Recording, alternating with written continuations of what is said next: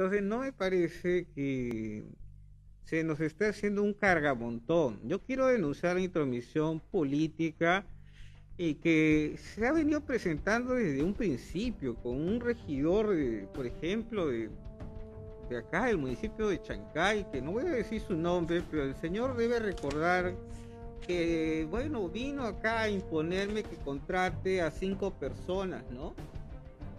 Entonces, este, eso esa persona. Yo lo dejo ahí, nada más. Es un regidor del hospital del de, municipio de Chancay. O la de Guaral, o la de Chancay. Distrital de Chancay. De Chancay. Que así vino a imponerme la contratación de cinco personas. ¿Ya? Entonces la intromisión ahora ya dejó de ese lado cuando ya no le hice caso. Pero estas personas vienen atizando un tema porque no se les hace caso en sus pedidos. Mire, al respecto, eh, yo lo veo muy responsable, contundente en afirmar lo que está pasando, pero irresponsable eh, al no decir el nombre, porque de esta manera eh, involucra al cuerpo de regidores y eso no está correcto, ¿no? Eso no está correcto porque él tiene que decir, pues, quién es la persona. Regidor, ¿usted sería esa persona, para ir descartando quiénes serían? ¿Usted es esa persona que le habría conversado con el, director del hospital? Al respecto, lo niego rotundamente. No tengo contacto con el doctor, ni por teléfono, tampoco no he ido al hospital en ningún momento, lo niego rotundamente. Vamos descartando entonces que usted, el regidor Juan Carlos Navarro, no se ha reunido eh, en estas últimas veces con el director pidiéndole algún... Eh, em, exigiendo que un grupo de personas ingresen a trabajar. No me he reunido ni ahora, ni antes, ni atrás con el, con el nuevo director. Tampoco le he hecho ningún tipo de exigencia porque jamás me he reunido, por eso que lo niego rotundamente. Sin embargo, vuelvo a recalcar, tiene el director, tiene que ser responsable también pues este, si es contundente en hablar de esta manera, también tiene que ser contundente en decir el nombre porque involucra a todo un cuerpo de regidores que venimos trabajando por, la, por, el, distrito de Chancay. Es una denuncia muy grave que ha hecho este, el director del hospital eh, de, Chancay, el doctor Frei Pajuelo Coqui, eh, ya que eh, se, se, estaría viendo eh, que sería un tráfico de influencia. Claro, ahí lo que él trata de ver, ya eso lo verán la parte de los juristas, la parte normativa, la parte legal, verá esos aspectos, pero sin embargo yo entiendo que él habla sobre una intromisión, ¿no? Pero vuelvo a repetir, si bien es cierto, la denuncia que él hace es grave, pero para que esto empiece a caminar, tiene que decir el nombre. ¿Usted tiene idea de quién de sus colegas podría ser? Desconozco, desconozco, eh, habría que habría que ver también si el doctor está diciendo la verdad, ¿no? Habría que, eh, son varios temas que, que, se encuentran ahí. Luego después hay que ver los elementos de convicción, es todo un tema, pero al respecto no puedo opinar más, porque esto ahorita es coyuntura y en este momento quizás están en investigación. Así que, pero desde mi parte, lo digo, lo niego rotundamente. Descarta usted que sea ese regidor que le... Ok, ok, cambiando de información, este regidor. Eh, también en estos últimos días, eh, justamente también hablando del hospital de Chancay, eh, ha habido un problema, ya que esta planta de oxígeno que fue entregada por la Municipalidad Provincial de Guaral estaría en mal estado, descompuesta, no funcionando. Mira, yo pienso y que tenemos que agradecer bastante, esta planta ha salvado muchas vidas. También por otro lado, eh, ahora en una conferencia de prensa se hace ver que la prensa le falta el mantenimiento correctivo, o sea, no el preventivo. Cuando habla de correctivo, puedo entender que son algunos dispositivos o piezas que no funcionan o requieren, pero tiene que haber también un deseo de poder este, subsanar y corregir esos errores porque Chancay necesita su planta. Sabemos que para que esta planta llegue a Chancay ha habido muchas formas en que la primera autoridad también ha sido parte de este trabajo porque esto ha salvado vidas. Y una vida no vale un sol, no tiene precio. Entonces por ahí tenemos que ir, ¿no?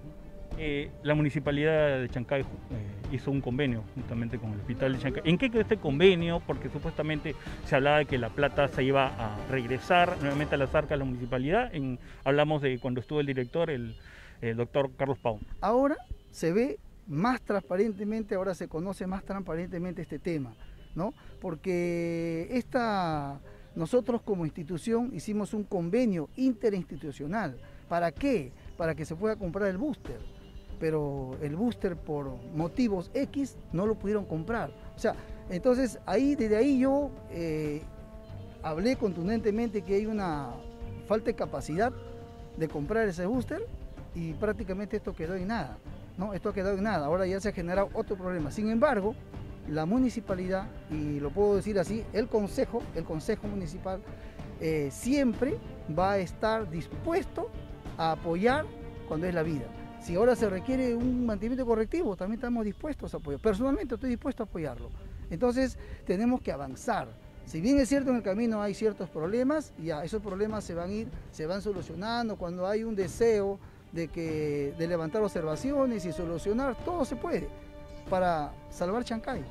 Justamente en días anteriores, eh, regidores de la Municipalidad Provincial de Guaral se acercó hasta el, hasta el hospital de Guaral para, en su trabajo de fiscalización, ver si está en funcionamiento esta planta y aparentemente no lo dejaron ingresar, tuvo que llegar a esta comisaría y hacer una constatación policial para ver y darse cuenta si es que la planta funcionaba o no. Es lo que corresponde de todo regidor, fiscalizar, que los convenios se estén cumpliendo, porque si este convenio no se cumple, uno tiene que jalar la oreja, ¿qué está pasando? Esta planta lo hemos entregado para que trabaje, para que funcione.